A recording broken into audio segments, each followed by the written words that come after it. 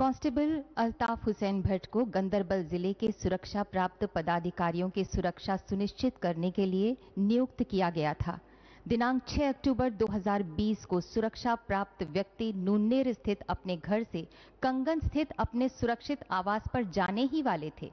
तब आतंकवादियों ने उनको निशाना बनाकर अंधाधुंध गोलीबारी शुरू कर दी। उनके साथ तैनात पुलिस कार्मिकों ने तत्काल प्रभावी जवाबी कार्रवाई की।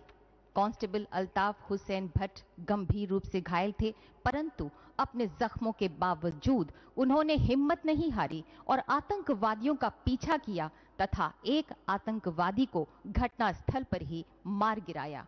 साथ ही अपनी जान की बाजी लगाकर उन्होंने सुरक्षा प्राप्त व्यक्ति को घर के अंदर सुरक्षित पहुंचाकर उनकी जान बचाई, परंतु बाद में वे अपने जख्मों के कारण वीर गति को प्राप्त हो गए।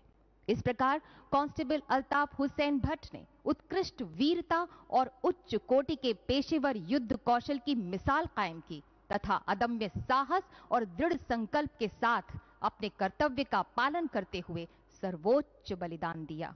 स्वर्गीय अल्ताफ हुसैन भट्ट की पत्नी श्रीमती समीना जान तथा माता श्रीमती रफीका।